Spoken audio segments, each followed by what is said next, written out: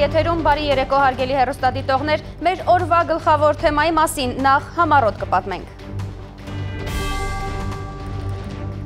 Դանդաղ քայլեր դեպի Բրյուսել Եվրամիության 28 պետությունից Հայաստանի հետ համաձայնագիրը վավերացրել է 9 երկիր։ Թավշյա կենացների ժամանակը մոտենում է ավարտին։ Գործող իշխանությունը մտահոգ չէ, Եվրոպայի հետ մերձեցնող ճանապարհի քարտեզ ունեն։ Հանձնաժողովը աշխատում է ոչ միայն արդեն իսկ ուժի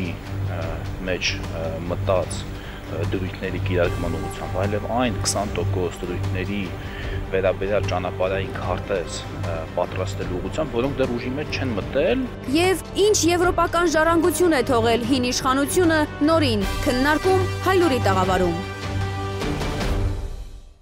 Հայաստանն ու Եվրամիությունը դանդաղ քայլերով են գնում դեպի ասոցացում։ Այս մտահոգությունը նախորդ իշխանությունները բազմիցս հայտնել են։ Հայաստանի Հանրապետական կուսակցության փոխնախագահ Արմեն Աշոտյանը հայտնել է, որ Գերմանիան 4 ամսից կվավերացնի համաձայնագիրը։ 7-րդ գումարման խորհրդարանից հակադարձում են նախկիններին, իրենք պարապ նստած չեն, դանդաղեցումն էլ բնական է։ Կարինե Մանգասարյանն է պատմում։ 2017-ի նոյեմբերին Հանրապետականի կնքած Հայաստան-Եվրամիություն գործընկերության համաձայնագրի կիրարկումը 2018-ի իշխանափոխությունից հետո մնաց այսօրվա իշխանության ուսերին։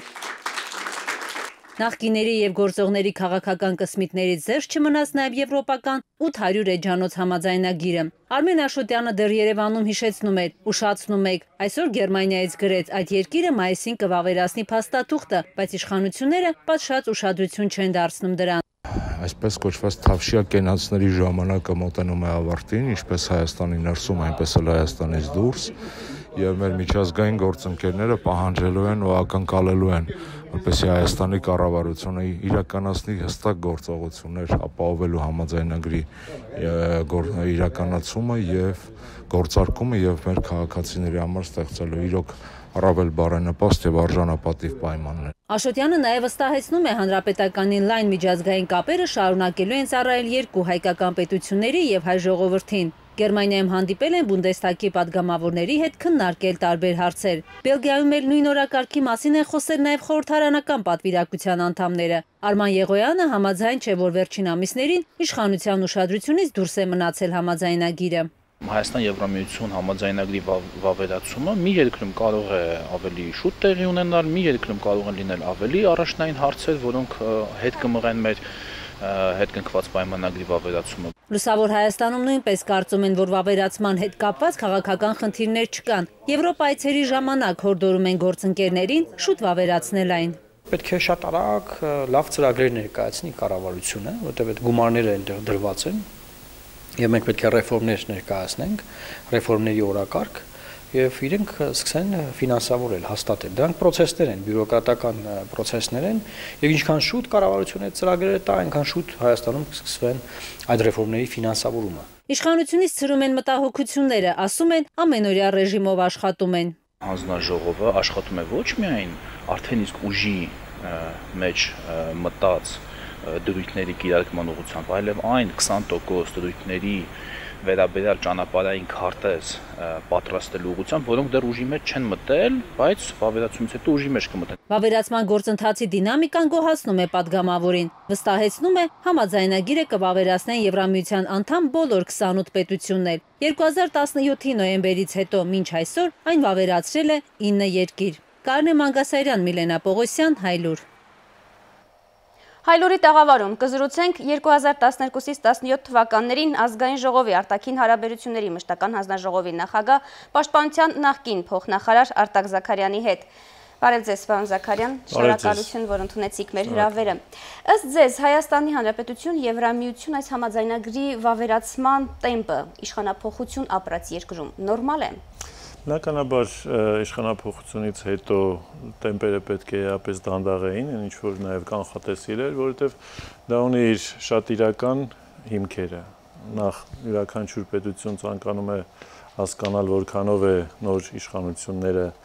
ավատարիմ եւ հանձնառու ստորագրված փաստաթղթի դրույթների նկատմամբ, ինչպես են պատկերացնում հետագա քաղաքականությունը Եվրոմիության հետ համագործակցության շրջանակներում եւ դրա որ դրույթը կառավարությունը դրա նախապատրաստական աշխատանքը եւ հետագայում նաեւ բարեփոխումները ինչպես է իրականացնելու։ Այս առումով իհարկե հապաղումը Եվրոմիության հասկանալի է։ Դուք որպես Մենք ունենալու ենք ներողություններ, ունենալու ենք նաեւ օբյեկտիվ պատճառներ Եվրոմիության Եվրոխորհրդանի ընտրությունները, որը 2015 չնայած որ Եվրոխորհրդանը վավերացրել է, բայց այնուամենայնիվ եվրոպական տարածքի համար դա որոշակի այսպես գլխավոր քաղաքական խնդիր է դառնալու եւ խորհրդարանները ավելի դժվարանալու են արագացնել վավերացման գործընթացը։ Այնպես որ 8 երկիր վավերացրել է Հայաստանն էլ հետը 9 երկիր, 8 երկրները դա կարծես թե հարմարացրել է նաև խորհրդանի իրենց ազգային խորհրդաների գրաֆիկներին։ Դուք որպես համաձայնագիրը ստորագրած իշխանություն կանխատեսում էիք, որ պետք է ավելի շատ երկրներ այս ընթացքում ստորագրացնեն 2017-ի նոյեմբերից մինչև հիմա։ Մենք ենթադրում ենք, որ 2019 թվականը ամբողջությամբ համաձայնագիրը արդեն լիարժեք ուժի մեջ մտած կլիներ, իսկ բնականաբար այս ընթացքում մենք ավելի շատ ակնկալիք ունեինք 2018 թվականին գոնե մեծ մեծամասամբ կամ մեծամասնությունը դա վավերացնել։ Այսօր 20 երկիր դեռ չի վավերացրել։ Յուրաքանչյուրը կարող է իր տարբեր պատճառներ ունենալ, չի բացառում լինեն երկրներ, որոնք նաև քաղաքական հաշվարկներից ելնելով կամ հարաբերությունների բացակայությունից կամ ոչ այդքան լավ հարաբերություններ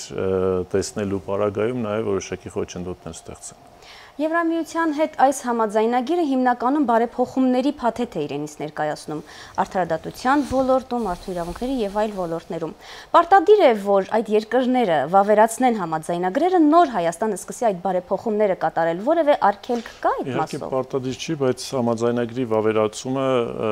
ինստիտուցիոնալ հիմքն է, որը լիարժեք նաեւ քաղաքական առումով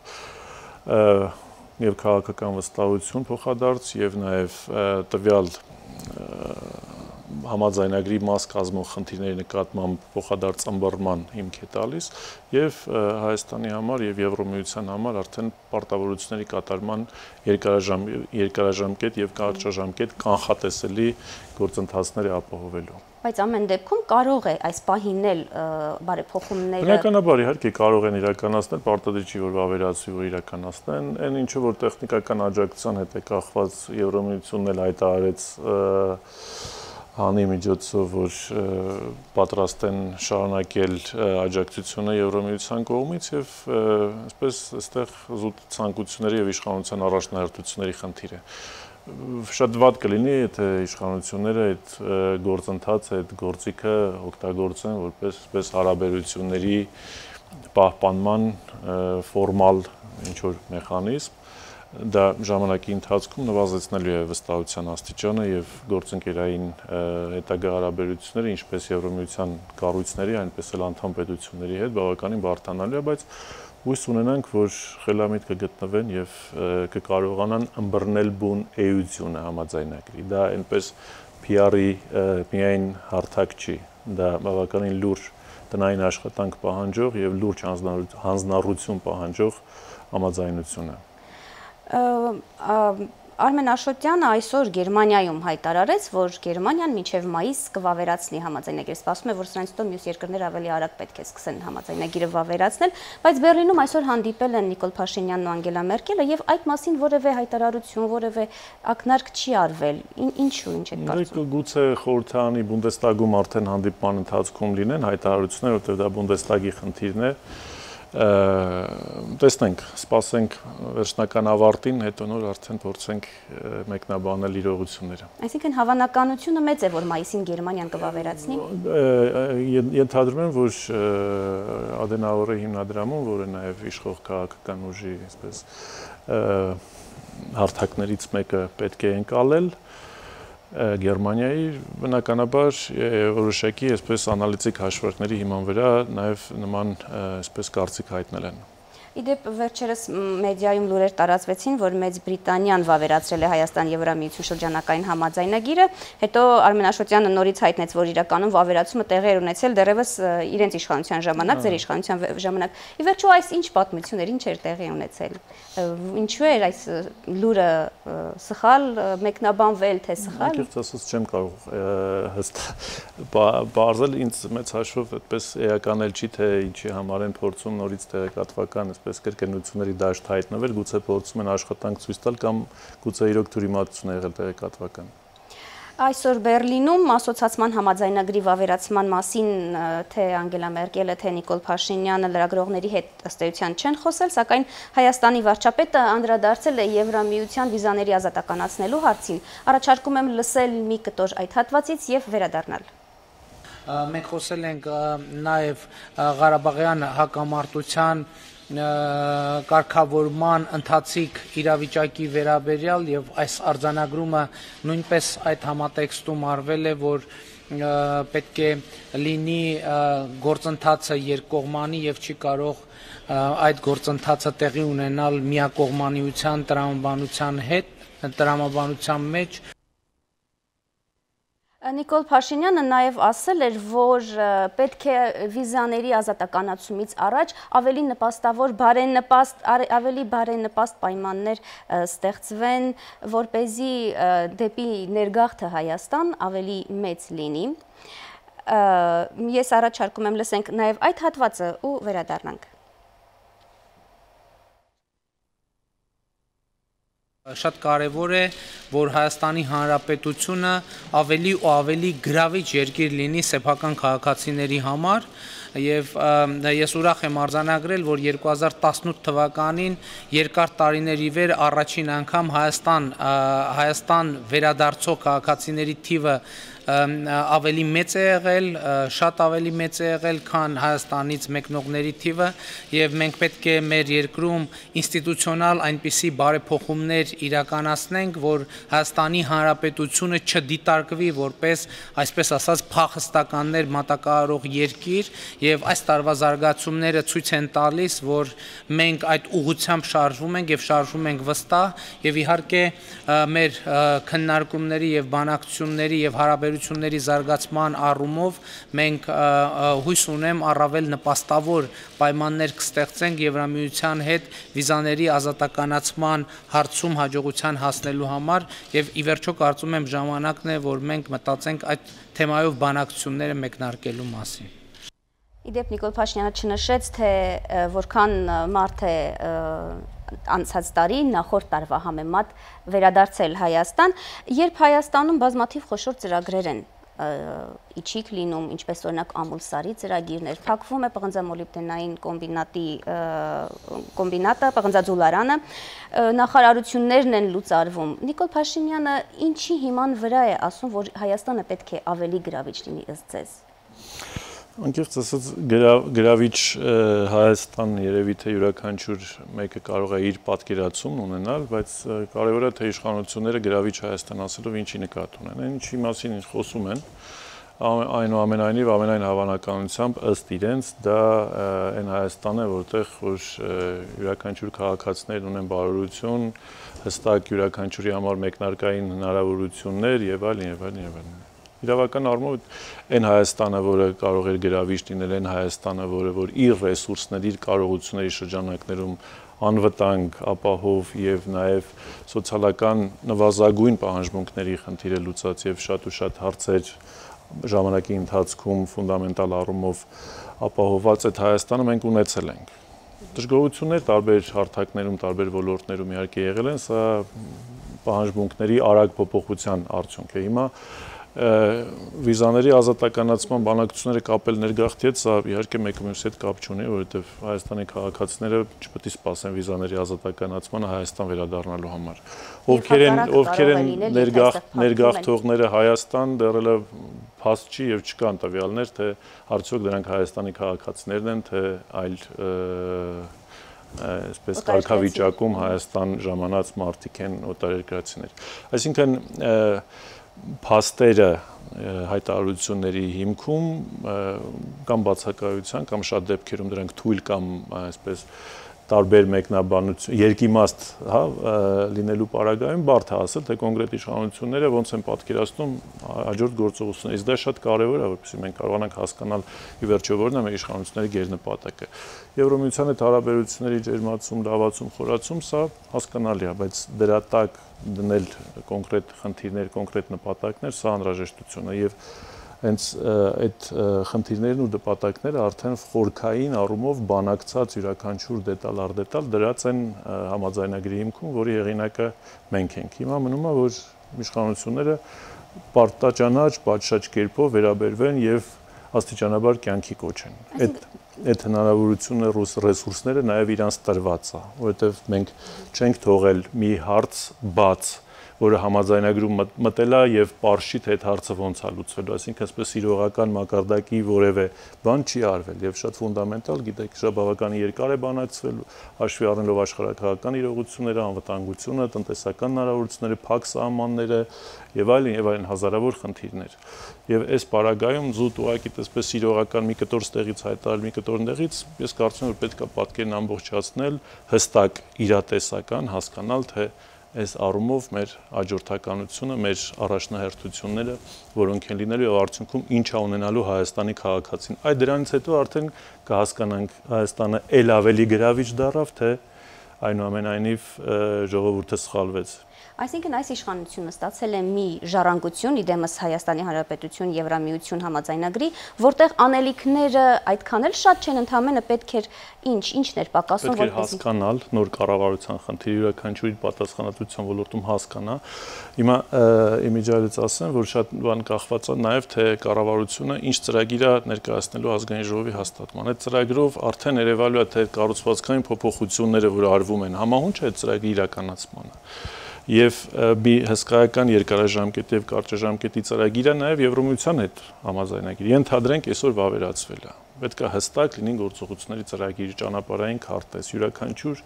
գերատեսչություն, նախարարություն, ոլորտի պատասխանատու ստանձնի իր պարտավորությունը շարունակի դա կյանքի կոչել, այնպես որ դա այսպես եւ քաղաքացու համար եւ պետական ինստիտուտների համար եւ այդ արժեքների համար, որոնք որ դրված են այդ համաձայնագրի հիմքում, լինի շատ իրատեսական, շոշափելի, կոնկրետ եւ նպատակներն էլ լինեն արդարացված։ Շնորհակալ եմ, պարոն Զաքարյան։ Ունեք ինչ-որ բան, որ կուզենայիք ավելացնել այս Հուսանք, որ հուսանք, որ ամեն ինչ այդքան վատ չի, ինչքան թվում է։ Շնորհակալություն շատ։ Հարգելի հերոստադիտողներ, մենք զրուցում ենք 2012-ից 17 թվականներին ազգային ժողովի արտաքին հարաբերությունների մշտական հանձնաժողովի նախագահ պաշտպանության նախկին փոխնախարար Արտակ Զաքարյանի հետ։ Այժմ այն մասին, թե ինչ ենք պատմելու թողարկման երկրորդ հատվածում։ 25 տարվա փիղ խնամողին օծերի մոտ են ուղարկում, կենթանաբանականից քաղաքապետարան տեղափոխված բողոքը։ Գողություն եւ հրաշք Բաղրամյան 26-ում անհետացած հուշադրամները հանկարծ նորից հայտնվել են իրենց տեղում։ 19 անց սխալ է համաներվել։ Արդարադատության նախարարությունն առաջարկում է չներել խոշտանգում արածներին։ Ընտանեկան դրաման դարձել է միջազգային հանցագործություն, պարազյանների գործը հայկական, ռուսական ու պորտուգալական դատարաններում։ Իսկ ինչու Ադրբեջանին ոչ ոք չի հարցնում, թե ինչ է զիջելու, հարցնում է Փաշինյանը Գերմանիայում։ Մերկելը ակնկալում է, որ Ղարաբաղյան հարցում խոսքից գործի անցնելու խիզախ քայլեր կլինեն։ Միացյալ Նահանգները ղեկավարելը մի ցավոտ կողմ ունի, Թրամփը անկեղծացել է։ Եվ Տիգրան Մեծն առաջին անգամ Հայաստան է գալիս ֆիլարմոնիկի փոքրիկ բյուջեն եւ արքայից արքա օպերան։ Բերլինում հանդիպել են Փաշինյանն ու Մերկելը։ Գերմանիայի կանցլերի հետ Հայաստանի վարչապետը զրուցել է տարբեր թեմաներով, այդ թվում Արցախյան հակամարտությունից։ Հակամարտությունը չի կարող լուծվել այնպես, որ միայն մեկ կողմ բավարարված լինի, հայտարարել է Անգելա Մերկելը։ Նիկոլ Փաշինյանն էլ ասել է, որ Ադրբեջանից չի ստացել խորհրդարանում իր արած հայտարարությանը համարժեք պատասխան։ Փաշինյանն ու Մերկելը Բերլինում անդրադարձան Արցախյան հարցին։ Կանցլեր Անգելա Մերկելը կարևորեց փոխզիջումների գնալու պատրաստակամությունը։ Լավ է, երբ մարդիկ իրար հետ խոսում են, բայց երկու կողմերը պատրաստ պետք է լինեն գործողությունների։ Կարծում եմ, որ պարոն վարչապետը խիզախ քայլեր է ձեռնարկել, բայց դիմացի կողմն էլ պետք է պատրաստական լինի ցույց տալ նման խիզախ քայլեր։ Վերջին հաշվով երկու կողմերը պետք է համաձայնության գան։ Վարչապետ Փաշինյանի խոսքով խիզախ քայլը խորհրդարանում արած հայտարարությունն էր, որ կարգավորման ցանկացած տարբերակ պետք է ընդունելի լինի Հայաստանի, Ղարաբաղի եւ Ադրբեջանի ժողովուրդների համար։ Հույս ունեի, որ այդ հայտարարությանը նմանատիպ հայտարարություն կհետևի նաեւ ադրբեջանական կողմից, բայց ցավոք սրտի ադրբեջանական կողմում կողմից ոչ մի պաշտոնյա նույնիսկ կիսաձայն չի բարձրաձայնում, որ Ղարաբաղի հարցի որևէ լուծում կարող է ընդունելի լինել Հայաստանի ժողովրդի եւ Ղարաբաղի ժողովրդի համար։ Ըստ Փաշինյանի սա ցույց է տալիս այն իրավիճակը, որ կա բանակցային գործընթացում, եւ քանի դեռ ադրբեջանական կողմից չկան համարժեք հայտարարություններ, չկան այս ուղությամբ առաջ շարժվելու հույսեր։ Աքսանա Հայրապետյան, Հայլուր Բերլինյան հանդիպումից առաջ Բաքվից արձագանքել էին Նիկոլ Փաշինյանի հունվարի 30-ին արած հայտարարությանը, երբ վարչապետը հայտնել էր, որ տարածքներ խաղաղության դիմաց բանաձևը բացառվում է։ Ադրբեջանի արտգործնախարարությունը հաղորդագրություն է տարածել նշելով, որ դժվար է հասկանալ Փաշինյանի տրամաբանությունը, որը հայտարարում է, թե տարածքների տարածքներ հանուն խաղաղության բանաձևը չկա։ Տեքստում գրված է, որ ԵԱՀԿ Մինսկի խմբի հովանու ներքո Լեռնային Ղարաբաղի հակամարտության կարգավորման շուրջ ընթացող բանակցությունների հիմքում հենց հայկական զինուժի դուրսբերումն է իրենց խոսքով Ադրբեջանի գրավյալ տարածքներից։ Բաքուն հարց է բարձրացնում. արդյոք չի նշանակում պարոն Փաշինյանի այս դիրքորոշումը, որ հրաժարվում են բանակցություններից։ Արցախը 2018-ին ապահովել է երկնիշ տնտեսական աճ։ Թիվը կառավարության նիստին արձանագրել է հայկական երկրորդ հանրապետության նախագահը։ Բակո Սահակյանի խոսքով տարին փակել են առանց ֆինանսական պարտավորությունների։ 2019-ի համար Ստեփանակերտում պատրաստվում են երկու նոր բնակարանաշինական ծրագիր, իսկ գերակայությունը մնում է բանակը։ Պաշտպանության բանակը եղել է եւ կա մեր ժողովրդի անվտանգության եւ պետության անկախության հիմնական երաշխավոր։ Տարածաշրջանում արկա իրավիճակն ու միտումները պահանջում են, որ մենք հետևողականորեն զբաղվենք բանակաշինության հարցերով, մշտապես առանձնահատուկ ուշադրության կենտրոնում պահեք զինված ուժերի մարտունակության շարունակական բարձրացումը, զինծառայողների սոցիալ-կենցաղային խնդիրների լուծումը։ Շարունակում ենք թողարկումը Ռոբերտ Քոչարյանի խափանման միջոցի հարցը քննող հերթական դատական նիստը հետաձգվեց։ Քննությունը կշարունակվի փետրվարի 4-ին։ Նիստի ավարտին Քոչարյանի պաշտպան Հայկ Ալոմյանն ասել է, որ երկրորդ նախագահի ելույթը տևել է 2 ժամ։ Այդ ընթացքում Քոչարյանը խոսել է 2008-ի մարտի 1-ի իրադարձություններից առաջ բանակում ստեղծված իրավիճակի, երկրապահ կամավորական միությունում առաջացած խմորումների, ինչպես նաև 0038 հրամանի մասին։ Ալումյանի խոսքով Քոչարյանը եւս մեկ անգամ ընդգծել է, որ Պաշտպանության նախարարի ցանկացած հրաման ոչ իր, ոչ Լևոն Տեր-Պետրոսյանի եւ ոչ Սերժ Սարգսյանի կառավարման ժամանակ երբևիցե չի ուղարկվել նախագահական, որպեսի նախագահը ծանոթանա կամ իր հավանությունը տա։ Ստեղծած իրավիճակի պայմաններում ինքը ցուցում է տվել Պաշտպանության նախարարին որպիսի պաշտպանության նախարարը ապահովի բանակի ճոզողությունը։ 0038 հրամանին անդրադարձ եղել է, պարոն Քոչարյանը հստակ ասել է, որ 0038 հրամանին ծանոթանալուց հետո ինքը տեսնում է, որ այդ հրամանի մեջ որևէ բան չկա, որի որը պետք է այդպես չլիներ, այլ լիներ ուրիշ ձևով, Արտարոզ դեպք է տեղի ունեցել Բաղրամյան 26-ում վարչապետի նստավայրի երորդ հարկի միջանցքում տեղադրված ցուցափեղկից անհետացել էր 4 հուշադրամ։ Դեպքը տեղի ունեցել հունվարի 25-ից 30-ը։ Վարչապետի աշխատակազմից գողության մասին հայտնել էին ոստիկանությանը։ Այս գործով քննիչները 20-ից ավելի մարդու են հարցակննել։ Հուշադրամները, ինչ որ հրաշքով, 3 հայտնվել են իրենց տեղում։ Ոստիկանությունը փնտրում է գողության հեղինակին։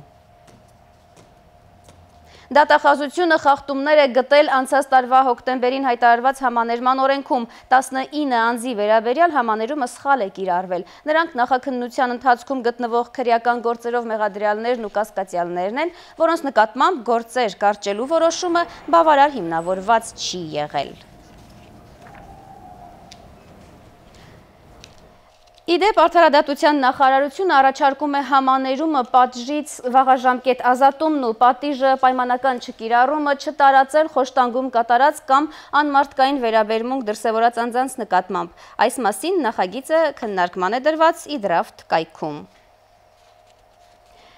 Ըստ այսօր AM-ի վարչապետը բացասական եզրակացություն է տվել դաժան սպանության համար ծմահ դատապարտված Մհեր Ենոքյանին ներում շնորելու խնդրագրին։ Երեք նախագահը ստորագրել էր ներման խնդրագրերի վերաբերյալ վարչապետի առաջարկությունն ու ուղարկել արդարադատության նախարարություն։ Մհեր Ենոքյանի կինը Զարուհի Մեժլումյանը մեզ հետ զրույցում ասել է, որ եզրակացությունը ստացել են, պատրաստվում է հայտարարությամբ հանդես գալ։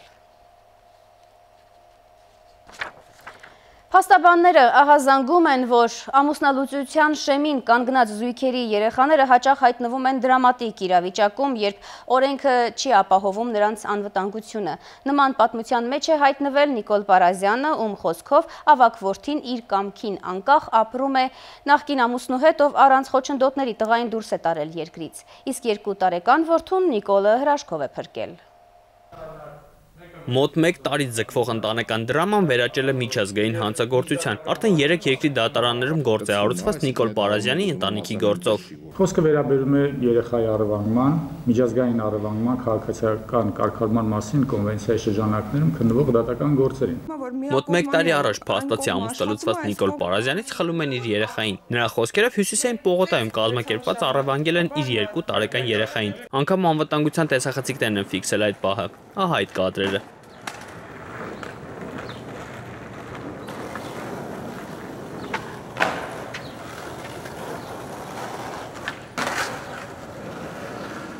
Ես իմ ուժերով իմ ընտանիքի հետ հայտնաբերեցի երեխայիս վայրը, որը գտնվում էր Չարենցավան քաղաքում, եւ մենք որոշեցինք ընտանիքով համատեղ իմ եղբոր մոր հետ համատեղ գնանք երեխայիս հետևից։ Ոստիկանները հրաժարվել են օգնել, կանգնել են դռան մոտ, ասելով, որ դուռն անձեռնմխելի է եւ չի կարելի բացել առանց տանտիրոջ ներկայության։ Սակայն տնից երեխայի ձայն է լսվել։ Երկու օրից միայն ԴՀԿ աշխատակիցների միջոցով կոտրել են դուռը եւ հանել 3 ամիս փակի տակ գտնվող եւ հյուծված երեխային։ Թույլ էր գտնվում առողջական եւ չէր կարող սկի ձեռը ձեռքը բարձրացնել եւ խոսալ եւ այլն ուտել եւ երկու օր շարունակ մենք երեխայի ձենը որևէ կերպ չենք լսել։ Պատկերացնում եք երկու տարեկան երեխա առողջ գտնվելով ոչ տեղաշարժում էր մեկ սենյականոց բնակարան էր։ Ոչ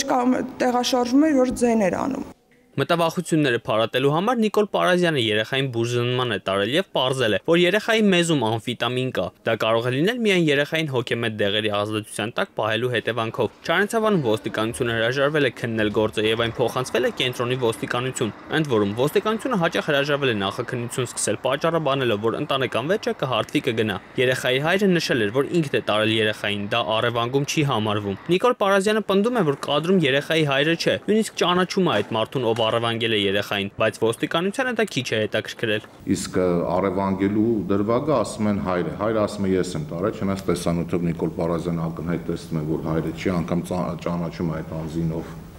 վերցնում է երեխային գնում է ոստիկանությունը ոստիկանությունը գիտեք ինչ բանով հայրն է տարել եթե հայրն ասում է ես եմ տարել ու իրանց հեշտ է ավելի չի կարող առևանգող լինել ու այդ հիմքով կարճում են Նիկոլ Պարազյանը պնդում է, որ իրենց ծեծել են Չարենցավանում, որպեսզի թույլ չտան մոտենալ երեխային։ Ոստիկանությունն այդ գործն է կարճել։ Ծեծողները իրենք ասում են, որ մենք չենք ծեծել։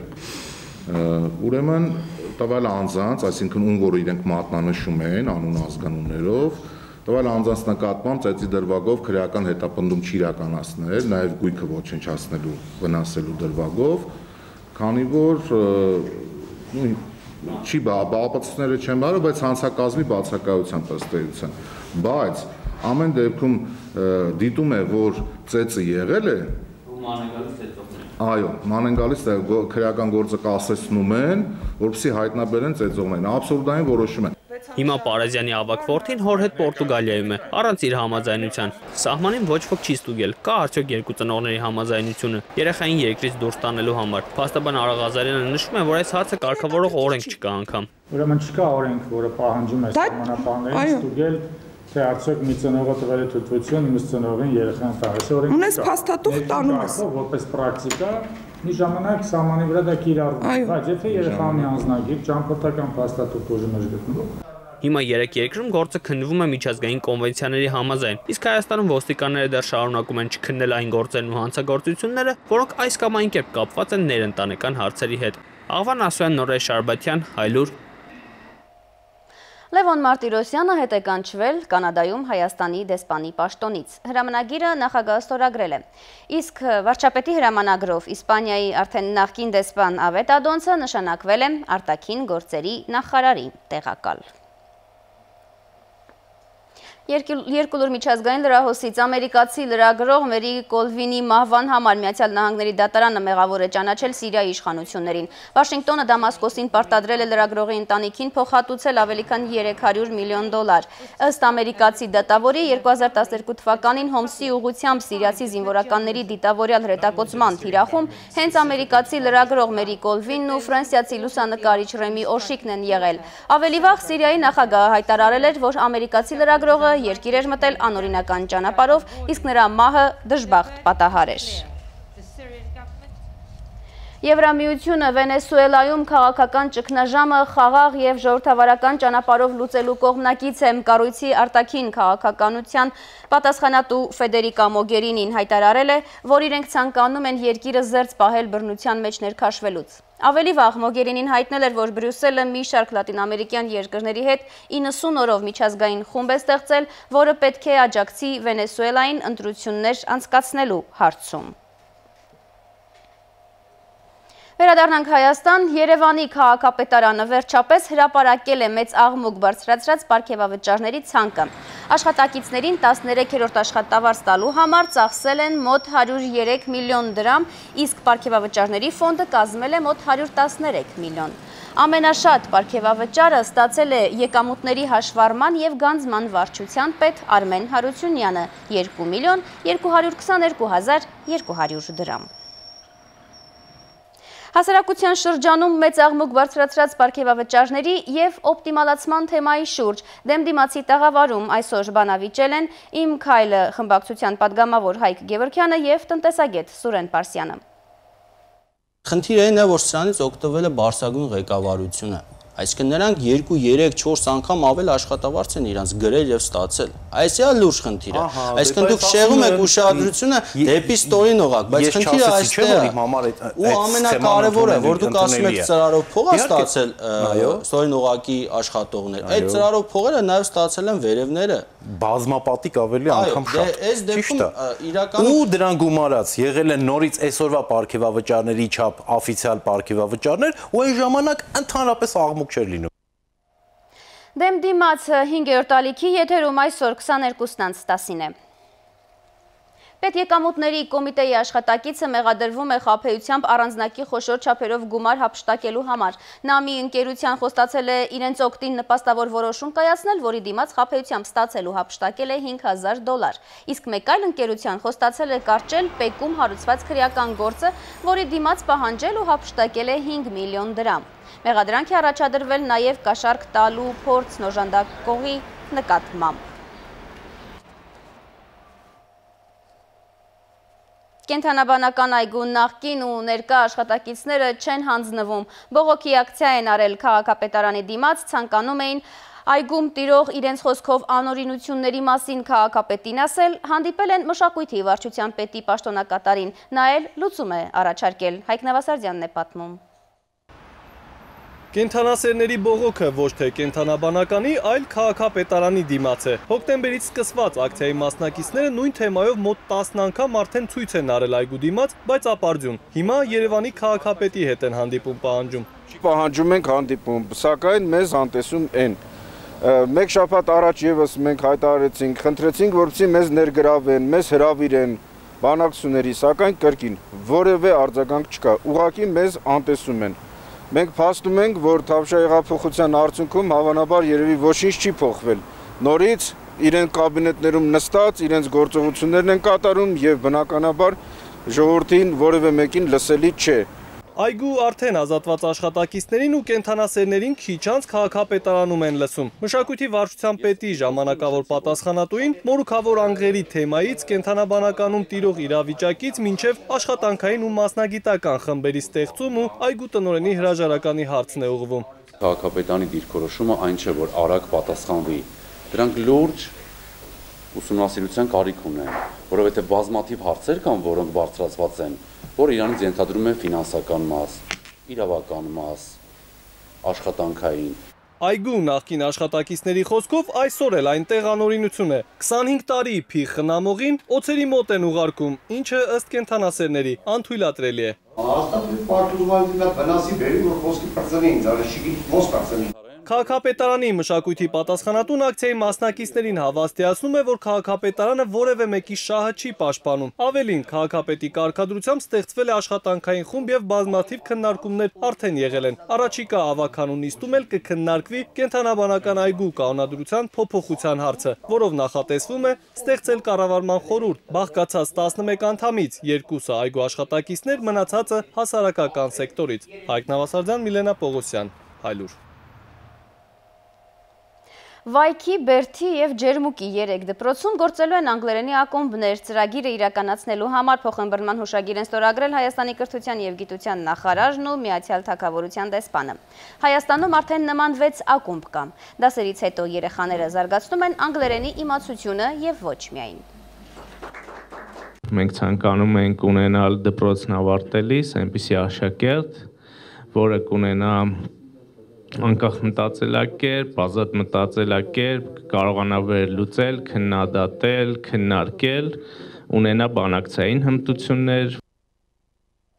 Աշխարհի եզդիների հոգևոր եւ աշխարհիկ առաջնորդի մահից հետո դեռևս հայտնի չէ, թե 700 տարի եզդիներին ղեկավարած տոհմի որ ժառանգն է գահին նստելու։ Միր Թահսին Սահիդ Ալիբեգը երկու տղա եւ բազմաթիվ թոռներ ունի։ Աշխարհի եզդիների հոգեմոն եւ աշխարհիկ առաջնորդ Միր Թահսին Սահիդ Ալիբեգի մահից հետո Հայաստանը բնակ եզդիներն ու հայերը Facebook-ում կիսվում էին առաջնորդի նկարներով ու ցավակցություն հայտնում։ Ցավով տեղեկացա, որ կյանքից հեռացել է համայն աշխարհի եզդիների հոգևոր եւ աշխարհիկ առաջնորդ Միր Թահսին Բեկը կորստի համար ցավակցում եմ Միրի Գերդաստանին ու համայն աշխարհի եզդիներին։ Պատիվ եմ ունեցել անձամբ ճանաչելու նման մեծ առաջնորդի եւ մեծ ափսոսանք եմ ապրում նրա կորստի համար։ Հանգչիր խաղաղությամբ, մեր լավ բարեկամ։ Ուժեղ մարդ էր, որպես խարիզմատիկ լիդեր վերջինն իր տոհմում։ Պատիվ եմ ունեցել անձամբ ճանաչելու Միր Թահսին Բեգին եւ հաղորդակցվելու նրա հետ։ Ցավակցություններս համայն եզդի ժողովրդին եւ Թահսին Բեգի ընտանիքին։ Նրանց տոհմը առաջնորդում է եզդիներին ավելի քան 700 տարի։ Կոչումը ժառանգական է։ Առաջնորդի պատասխանատու գործը իրեն էին հանձնել 12 տարեկանում, հոր մահվանից հետո։ Սկզբում ղեկավարել օգնում էր տատը։ Դրսի եզդիների հետ կապը նրա ավելի ուշ շրջանում է տեղի ունեցել։ Սկզբնական շրջանում հենց Իրաքի եզդիներին որպես առաջնորդ, ըստ Իրաքի եզդիների լավ առաջնորդ է եղել իսկ արա դրսի եզդիների հետ կապը նամանավանդ սովետական միության հետ սովետական միության երկրների եզդիների հետ առաջին կապը եղել է 2010-11 թվականներին երբ որ առաջին անգամ այցելել է Թիֆլիս, Վրաստան։ Միր Թահսին Բեգը երկու անգամ է Հայաստան եկել։ Առաջինը երբ ակնալճում եզդիական տաճար էր կառուցվում, երկրորդ անգամ 2015-ին հայոց ցեղասպանության 100-ամյակին։ Հայերին եղբայրական ժողովուրդ էր համարում։ Առաջին Իրաքի եզների հետ հայերի կապը եղել է հենց մեծ կոտորածների ժամանակ 15 թվականներին, երբ որ Իրաքի եզդիները հենց Միրի պապու գլխավորությամբ փրկել են շուրջ 20000 քրիստոնյաներ, այդ թվում մոտ 15000 հայերի, իր ապաստան տալով հենց Շանգալի լեռներում։ Անահիտ Հովանեսյան, Արման Թովմասյան, Հայլուր։ Թողարկման այս հատվածում փետրվարի 2-ի եղանակի մասին կպատմի Լիլիթ Խալաթյանը։ Լիլիթ, բարի երեկո։ Ողջույն Թերեզա։ Վաղը փետրվարի 2-ին հանրապետությունում սպասվում են տեղումներ, բայց ջերմաստիճանն էապես չի փոխվի։ Լեռներում կլինի ձյուն, նախալեռնային շրջաններում ձնախառն անձրև։ Հյուսիսում գիշերը թաց ձյուն կգա։ Շիրակում, Գեղարքունիքում, Կոտայքի եւ Արագածոտնի լեռներում գիշերը սպասվում է 5-ից 10, ցերեկը 0-ից 5 աստիճան ցուրտ։ Կոտայքի եւ Արագածոտնի նախալեռներում համեմատաբար տաք է։ Գիշերը 2, ցերեկը 4 աստիճան։ Լորիում տեղումները կշարունակվեն։ Գիշերը կլինի 6 աստիճան ցուրտ ցուրտ, ցերեկը 2-ից 5 աստիճան տաքություն։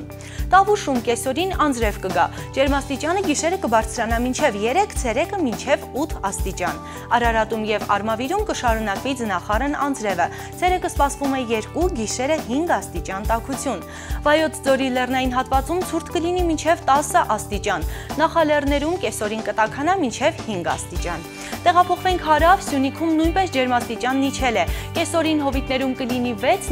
նախահովիտներում 3 աստիճան տաքություն։ Արցախում փետրվարի 2-ը տեղումն առատ կլինի։ Գիշերը թաց ձյուն կգա, ցերեկը անձրև։ Գիշերը կլինի 1-ից 4, ցերեկը 1-ից 5 աստիճան տաքություն։ Մայրաքաղաքում փետրվարի 2-ին օթերևոթաբանները թաց ձյուն են կանխատեսում։ Ջերմաստիճանն էապես չի փոխվի, գիշերը կլինի 2, ցերեկը 3-ից 5 աստիճան տաքություն։ Փետրվարի 3-ին եւ 4-ին սպասվում է առանց տեղումների եղանակ։ Այսօրվա համար այսքանը, առայժմ Շնորհակալություն Լիլիթ։ Յոհան Հասենի հեղինակած Տիգրան Մեծ օպերան մինչև աշուն գառնու տաճարում կառուցված հատուկ բեմում կլինի։ Այդպես է ցանկանում պետական ֆիլարմոնիայի տնօրենը, թեպետ հովանավոր փնտրել ու այդպես էլ չի գտել։ Կարևորը ասում է ռեժիսորը, դերակատարները կան, վստահ է, Հայաստանում վերջապես կբեմադրվի Տիգրան Մեծ իմ անուն ազգանունով երթում այս բեմադրությունը պետք է արվի Հայաստանում բեմադրվելու է բարոկո դասական ոճով գրված Տիգրան Մեծ օպերան։ Հեղինակը գերմանացի կոմպոզիտոր Յոհան Հասեն է։ Հայոց արքա Տիգրան Մեծին նվիրված 40 օպերա կա, որոնցից որևէ մեկը Հայաստանում չի բեմադրվել։ Պետական ֆիլարմոնիայի տնօրեն Գագիկ Մանասյանի խոսքով ընտրվել է արքայից արքան, որովհետև մեր ժողովուրդը ավելի քան երբևէ հերոսի կարիք ունի։ Մենք նախատեսում ենք արգելի գործընկերներ, որ այս բեմադրությունը պետք է արվի, երբ դեղնած դաշտերին իջնի աշուն։ Բեմադրության մասին բազմաթիվ հարցեր դեռ չեն քննարկվել։ Բյուջե էլ դեռ չունե։ Գագիկ Մանասյանը հույսը պետական որևէ կառույցի վրա չի դրել։ Հայաստանում բոլոր հնարավոր դռները բախվել են այս օպերան բեմադրելու համար։ Ձայն բարբարո անապատի։ Այո, բոլոր տեղերում բնության պահպանության նախարարությունն էլ են գումել։ MÇS-ի նախարարությունն էլ են գումել։ Չի եղել Բեմադրության համար Ռուսաստանում ապրող հայ ռեժիսոր Գեորգի Իսահակյանին են հրավիրել։ Նրա խոսքով այս բեմադրությունը Հայաստանին վերադարձնելու է համաշխարհային մշակույթ։ Օպերա բարոկո сейчас Բարոկոն տրենդային է։ Եվրոպայի գրեթե յուրաքանչյուր թատրոնում ամեն սեզոնի գոնե մեկ բարոկո ոճի օպերա են բեմադրում։ Այսպիսի բեմադրություններ անելու փորձել Հայաստանում արվել են, չի ստացվել։ Դիրիժոր Ռուբեն Ասատրյանի խոսքով դժվարություններ լինելու են։ Այս ստեղծագործությունը, որ գրվել են հին, ինչ այդ ստեղծված վիոլաների խմբի համար է եղել, եւ հետեւաբար կատարողական սկզբունքները այլ են եղել։ Գագիկ Մանասյանը ցանկանում է օպերան Գառնու տաճարում խաղալ։ Հանդիսատեսի համար ամֆիթատրոն կկառուցեն։ 8 դերակատար է լինելու։ Մրցույթ էին հայտարարել։ 18 մարդ են դիմել։ Ներկայացել էին 10-ը։ Ասատուն Բալջյանը Տիգրան Մեծի մենելքն է կատարում։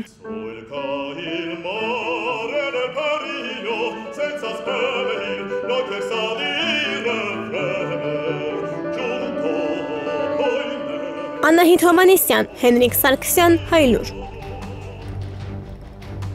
Հինգերորդ ալիքի եթերը կշարունակի հովի կավյանը իրականության մութ կողմերը ներկայացնելով լույսի տակ, իսկ ես ես հրաժեշտ եմ տալիս ցտեսություն։